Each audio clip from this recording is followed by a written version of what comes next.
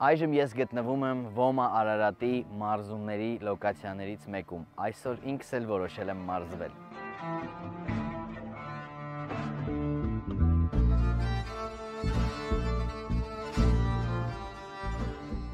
Հերթական մարզման օրն է։ Ինչի համար ենք շատ կարևորում ձեզ տեղեկացնել այս մասին, որովհետև այս վերջին իրադարձությունների ֆոնին բավականին ակտուալ է դարձել գմբեթների թեման, բոլորը փորձում են օգնել ոմային կառուցել գմբեթներ, դրա համահավաք են անում եւ այլն։ Ժորժ ջան, այդքան որ ասում ենք գմբեթ, գմբեթ, լավ է որ ակտիվ կառուցվում են գմբեթները, բայց այդ գմբեթների մեջ կանգնող մարդիկ էլ են պետք։ Բանիմաց մարդիկ, պարապած, պատրաստված մարդիկ, ովքեր կարողանում են վարժ կրակել, դիրապետում են առաջին բժշկական օգնությանը։ Դե խոսքով հազար ու մի բան կա, որ մենակ այստեղ պարապելով կարող ես իմանալ։ Եկեք չսահմանափակվենք մենակ հանգանակություններով եւ այլնով, նաեւ եկեք մասնակցեք մարզումներին, ձեռք բերեք այդ գիտելիքներն ու հմտությունները,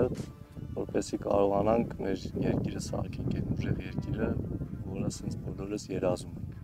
Համարյա բոլոր մարզերում գործում են ոմայի մասնաճյուղերը, այնպես որ դուք էլ կարող եք ակտիվ գրանցվել եւ մասնակցել։